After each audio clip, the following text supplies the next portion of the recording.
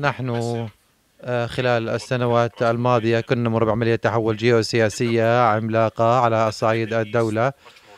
وفي الشرق الأوسط كان أكثر تجل ووضوح بسبب التعقيدات التي شاهدناها بعد 2011 مع الربيع العربي وتداعيات هذا الربيع العربي. ولكن حتى على المستوى الدولي هنالك عملية تحول ضخمة. لقد شاهدنا انحدار التواجد الأمريكي في المنطقة. آه، عبر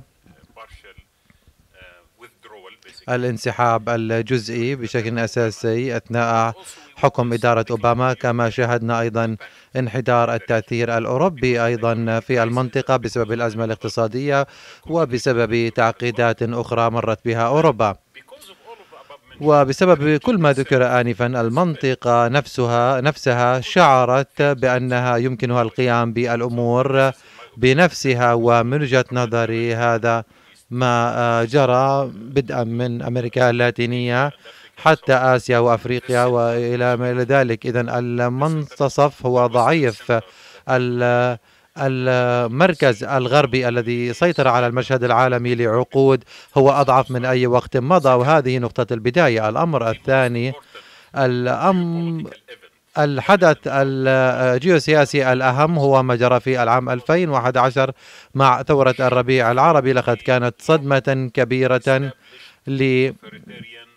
للأنظمة الاستبدادية آه، طويلة الأمد التي آه، بدأت منذ نهاية الحرب العالمية الثانية. نحن لم نشهد في العالم العربي شيئا آه، مشابها للربيع العربي أمر مذهل الطريقة التي تم القيام بها والطريقة التي شهدت العالم العربي ثورات ديمقراطية قام بها شباب بطريقة سلمية وفي نفس الوقت الأشخاص الذين لم يتبنوا أيديولوجيات معينة لكنهم كان لديهم قيم اشتركوا فيها مع العالم كله. لقد كانت لحظة رائعة لم أشهد مثلها في العالم العربي وأنا آه، كنت أغطي هذه الأحداث من مقر إدارة الجزيرة. وأؤكد لكم بأن العرب في ذلك الوقت كانوا في يعيشون لحظات ذهبية.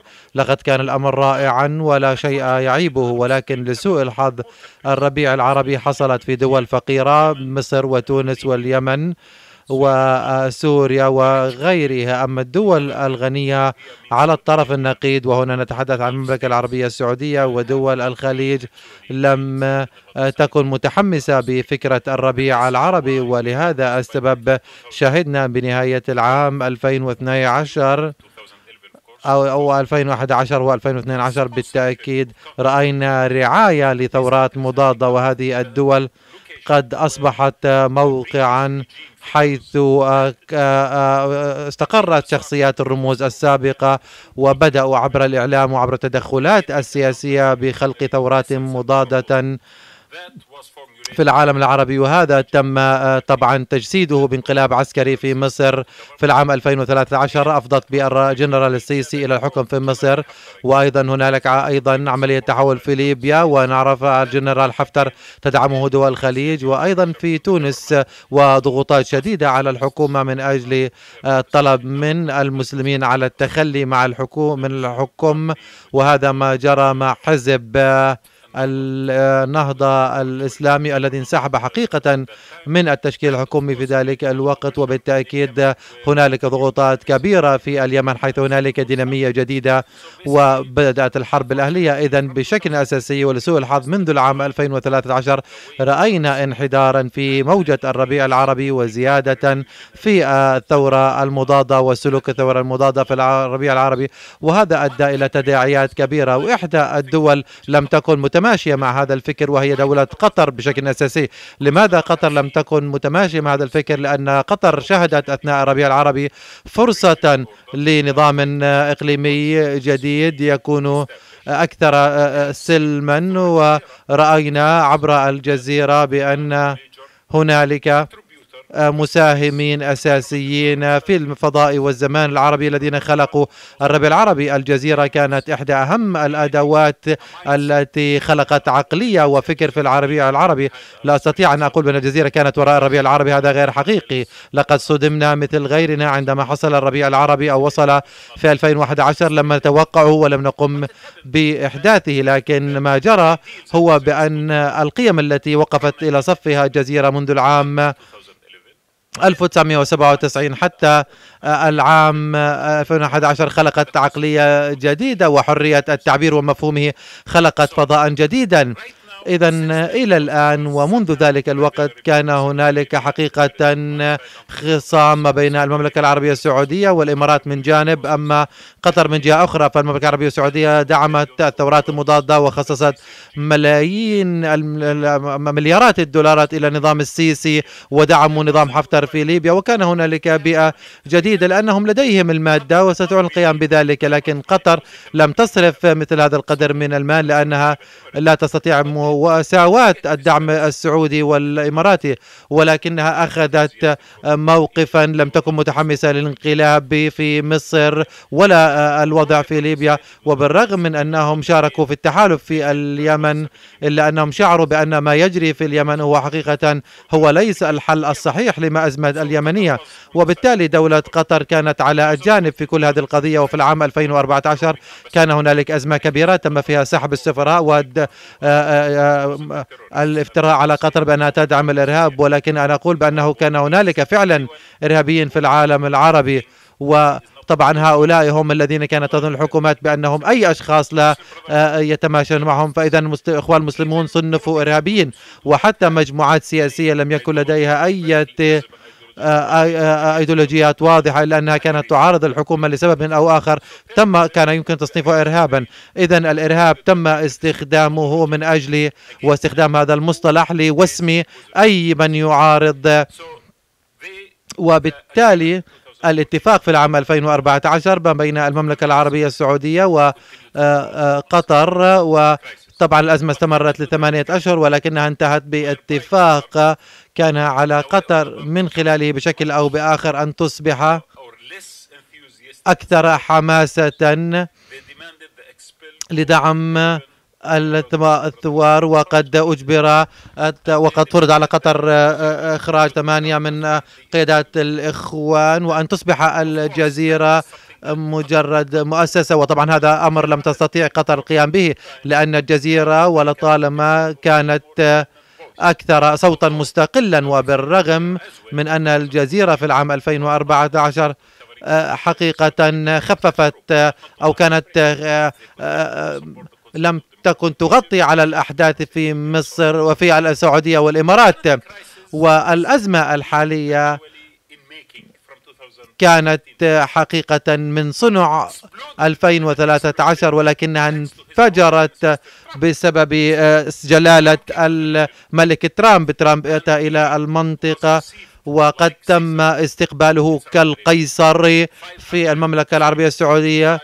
وهنالك 55 رئيس دولة وممثلين لدول إسلامية استقبلوه بخطاب ألقاه لمدة 30 دقيقة والكل هلل له. هو لم يرى شيئا مثل هذا في حياته كلها. لقد قال أبدا بأنه لم يشهد هذا. إنه أمر جنوني.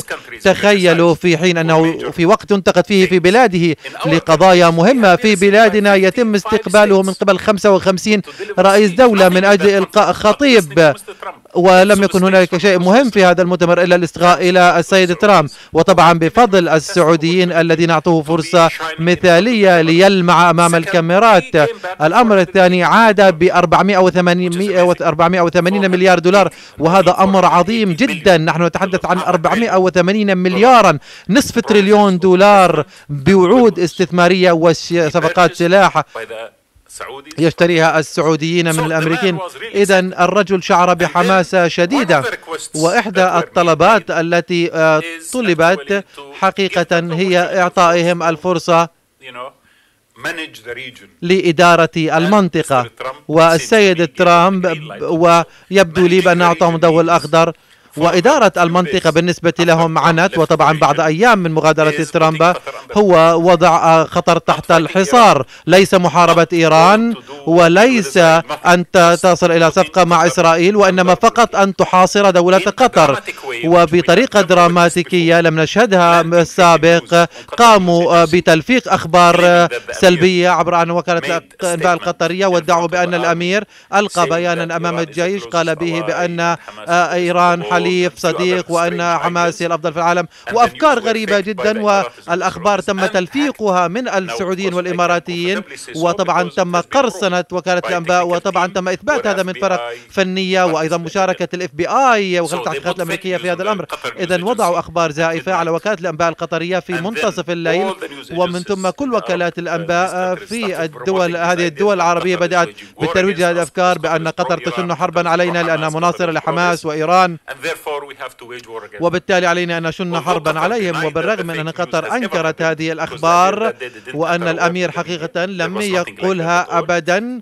ولكن الأمر كان ذريعة من أجل آه، فرض الحصار الحالي على دولة قطر والقيام بما قاموا به ووضع دولة قطر على حصار بري وبحري وجوي ومنع المواطنين القطريين من ممارسة أو زيارة الدول الخليجية ومنعوا حتى مواطنيهم من زيارة آه، دولة قطر وأغلقوا مواقع وشاشات تلفزة وأي وكالة أنباء لا تتماشى مع طريقة قيامهم بالعمل وأصدروا قانونا يسجن الناس من خمسة إلى عشرة أعوام إذا قاموا بالتغريد أو استخدام وسائل التواصل الاجتماعي وحتى تطبيق الواتساب من أجل آه، إطلاق أي بيان قد يبدو على أنه تعاطفا مع دولة قطر. هذا أمر غير مسبوق. لم نشهده في حياتنا كلها وخاصة الواتساب. ولماذا أركز على الواتساب؟ تويتر علني أما الواتساب هو خاص. ولكن قيل بأنه إذا أرسلت آه، آه، رسالة على الواتساب وأصل الحكومة فأنت سوف تساءل أمام القانون والآن هنالك أكثر من 30 شخص الآن مسجونين بسبب هذا القانون. إذا لقد رأينا أمرا لم نشهده في حياتنا. أنا حقيقة وبشكل شخصي لم أرى مثل هذه البيئة في حياتي. ولسوء الحظ أن الوضع الحالي كما لاحظتم قد أدى إلى آه، وضع صعب جدا لأنه كان هنالك تقويض لوضع المنطقة نعم ترامب قال لهم أنت عليكم قوموا بما تريدون به. و ولكن هذه المنطقة هي ليست مكانا خاليا لتقوموا به ما تريدون. هنالك هيمنات أخرى في المنطقة مثل إيران ومثل تركيا واللتين لن تسمحا للسعودية من أجل إعادة صقل المنطقة بالطريقة التي يريدونها. هم لديهم مصالح أيضا. ولهذا السبب الآن نشهد وكما رأيتم يوم الغد سوف يكون آخر يوم من المهلة الإضافية لثلاثة عشر طلبا طلبت هذه الدول الدول من دولة قطر وأنا بشكل شخصي لست آه، آه، متفائل بأن الأمر سوف يحل يوم الغد ولكنني مجددا نحن سوف نرى الكثير من الجدل خلال الأسابيع القادمة وربما الأشهر القادمة. قلت بأن إحدى القضايا وراء هذه الأزمة هي إدارة المنطقة. أظن بأن الربيع العربي وقبل الربيع العربي كان هنالك قطب واحد يهاجم من أجل الهيمنة على المنطقة وكان هنالك طبعا السعودية ومصر وربما قطر لعبت دورا مغايرا في ذلك الوقت ولكن عندما حصل الربيع العربي وبدأنا نرى أحزابا سياسية فلنقل مثلا الإخوان المسلمين في مصر وفي تونس وفي تركيا كانت سعيدة وكانت سوريا. في البدايات 2012 كانت هنالك موجة قوية من الإسلاميين المعتدلين والمشاركين وحتى حصلت الثورة المضادة مضادة مع التدخل السعودية. لكن الآن مصر هي تحت مظلة السعودية. وإذا القوى المهيمنة في المنطقة تظن ربما بأنها تستطيع أن تبدأ بقطر والأخوان المسلمين صوبني إذا كنت آه، آه، آه، أخطأت ولكن هل تستطيع القيام بهذا الأمر؟ كما أيضا أن تركيا لديها هذا الملف من دعم الإخوان المسلمين وهو لن يسمح لهذا الأمر. وربما ينتظرون اللحظة المناسبة. إذا أين سوف إلى أين سوف تصل هذه المعركة من الهيمنة؟ نحن لدينا نظام إقليمي جديد وعلينا أن نتذكر بأنه قبل العام 2011 كان هنالك تحالفين رئيسيين في المنطقة محورين رئيسيين. تذكر قبل العام 2011 كان هنالك ما يسمى بمحور وأضعه بين قوسين المعتدلين وهم المناصرين للحكومات الغربية وكانت هذه المملكة العربية السعودية ومصر والأردن والإمارات. والبحرين. فتذكر ذلك وهم ثم كان هنالك محور آخر سمي الممانعة. اذا محور ممانعة. وطبعا هذه المصطلحات حقيقه آه، وقد ضمنت ضمت إيران وتركيا وسوريا في ذلك الوقت. uh, كانت مناصرة لحماس و وبشكل أساسي حماس. وهذا المحور كانت تعتبر قطر جزء منه. اذا في العام 2011 انهار المحورين. محور المعتدلين انهار بأن مصر شهدت ثورة والإخوان المسلمين سيطروا على الحكم وانسحبوا من المحور هذا المحور أما محور الممانعة انهار لأن سوريا شهدت ثورة وأيضا انسحبت من المحور الجميع بدأ يقاتل النظام السوري بما ذلك تركيا وقطر وبالتالي لم يعد هنالك أي محاور منذ ذلك الوقت الآن أنا بدأت أرى المحورين يعود يعودان يعودان للعمل لأنه هو للمرة الأولى. أرى روابط أقوى وروابط أقوى من أي وقت ما بين إيران وتركيا منذ الوقت 2011 والآن الناس يتحدثون عن إعادة هيكلة المنطقة وبطريقة مختلفة. وبالرغم من أن تركيا وسور وإيران يختلفان حول القضية السورية وكلاهما يرعيان ميليشيات متقاتلة. إلا أن المشاعر هو حتى أننا لو نتفق على سوريا وإلا آه، أننا نتفق على قضايا أخرى مثل الدولة الكردية التي لا يجب أن يتم إنشاؤها وموضوع القضية الفلسطينية وأيضا موضوع قطر وموضوع الحرب السعودية في اليمن. كل هذه الأمور تقريبا يمكن الاتفاق عليها إذا هنالك آه، نظرية جديدة تتجلى في المنطقة والتي تتفق على قضايا. وهنالك نقاش حولها ولكن دعونا نبدأ ونتصرف على ما نتفق عليه وهذه طبعا مشاعر جديدة في المنطقة والآن إذا وضعنا تركيا والعراق سويا. وطبعا هذا باب كبير جدا. وطبعا الأمر أكبر بك وتركيا وإيران اللذان يملكان أكبر جيوش في المنطقة ولديهم أكبر نفوذ في المنطقة. وأيضا حتى فيما يتعلق بالقوة الناعمة إيران والمجتمعات الشيعية الموجودة في دول الخليج في اليمن وفي العراق وفي سوريا. وتركيا أيضا بشكل القوى السنية.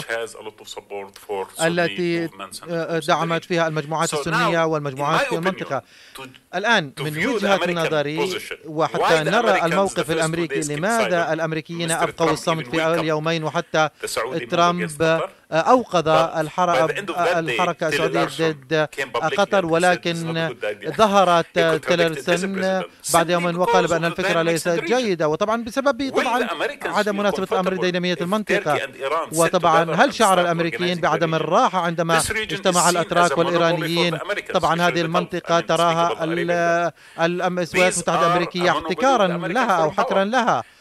وحكرا على السياسات الخارجية. الآن هم أجبروا على قوتين إقليميتين للتحرك سويا وهذا أمر مرعب بالنسبة للأمريكيين إذا فور أن تدخلوا من أجل تهدئة الأمور. أنا أحاجج بأن الخطة كانت أصلا بأن يكون هنالك تدخل عسكري في قطر في اليومين الأولين. والأمريكان قد أوقفوا هذا. لماذا؟ لأنهم قد رأوا التصعيد من الأتراك والإيرانيين وخاصة الأتراك الأتراك الذين هرعوا لعقد جلسة برلمانية في العاشرة مساء في ذلك الوقت وأعلنوا موافقة على إرسال قوات إلى تركيا وخلال ساعات بدأت القوات التركية الوصول إلى قطر. إذا هذا عنى بأن يكون سيكون هنالك حرب إقليمية. إذا ما سمح للسعودية والقوى الإماراتية بإرسال قواتهم. ولهذا السبب منعت الولايات المتحدة الأمريكية الحرب ووقفت عبر وقف أي تصعيد عسكري أو تغيير النظام في قطر. السؤال uh, المتعلق بإيران وتركيا واتفاقهما ورأينا في السنوات الماضية uh, ارتفاع وانخفاض وصلوا إلى شفير الحرب ومن ثم اتفاق على أرضيات مشتركة. أظن بأن uh, possibility to, to see what's what's happening because uh, we have لدينا قوات أمريكية الآن تقاتل جنبا إلى جنب مع الميليشيات الإيرانية في العراق. ضد مصالح طبعا تركيا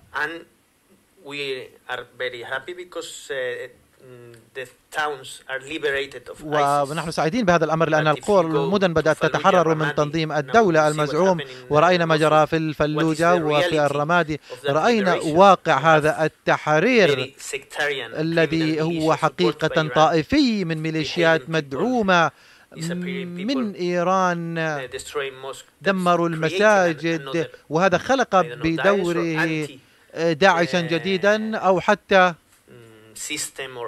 أنظمة معاكسة في العراق. هل يمكن استقرار إعادة استقرار إلى العراق إذا ما اتفق الأمريكان والإيران كما جرى الأمر من بداية الاحتلال. لكن هل ستقبل آه، تركيا؟ أن تخرج العراق أو سوريا من آه، زمام سيطرتها. دعون دعني أقول لك الأمر هذا رأيي الشخصي وهو مباشر جدا. أظن بأن الأمريكيين في هذه المرحلة لا يكترثون كثيرا بنا في هذه المنطقة. والسبب بكل بساطة بأن الأمريكان ارتكبوا خطرا فظيعا في السنوات الماضية في العراق وفي سوريا وقد قاموا بدعم ليس عملية تحول حقيقية لشيء قد يكون ناجعا على سبيل سبيل المثال في حالة السورية لقد قاموا بشكل أساسي أثناء إدارة أوباما بدعم الثورة وقالوا بأن بشار لا يجب أن يستمر ولكننا لم نرى أي إجراءات ولكن على العكس من هذا رأيناهم يقاتلون ضد تزويد الثوار بالسلاح. اذا لم يكن هناك موثوقية قبل خطاب في سوريا وتذكرون الخطوط الحمراء لأوباما في السلاح الكيماوي لم يتم التعامل معها بشكل جيد ولكن عندما أتى ترامب هو أيضا قام بنفس الشيء. في البداية قال بأن سوريا ليست آه، مهمة بالنسبة لنا نحن نقاتل الإرهاب. وحتى لو أتى الإرهاب من المريخ سوف نتصدى له. طبعا الإرهاب هو نتاج انعدام الديمقراطية وسبب فساد الأنظمة القائمة.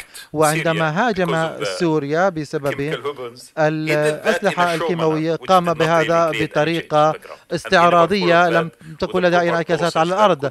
أو قد قدم سياسات حقيقية قد تغير مواطن القوى في سوريا بالإضافة إلى كل هذا لقد فقدوا احترام تركيا ببساطة لأنهم بدأوا بدعم ميليشيات لديها عمليات عسكرية في تركيا مثل آه، حركة آه، حزب العمال وغيرها من المجموعات المصنفة إرهابية من تركيا. إذا تركيا لا تشعر بالإطمئنان من التدخل الأمريكي في سوريا وفي العراق. بالعودة إلى إيران. إيران لا ترى التدخل الأمريكي في العراق فكرة جذابه نعم إنه جيد الآن التخلص من تنظيم الدولة من الموصل ولكن كل يوم يقول ترامب بأنه يقول بأنه سوف يلغي الاتفاقية ما بين إيران وأوباما.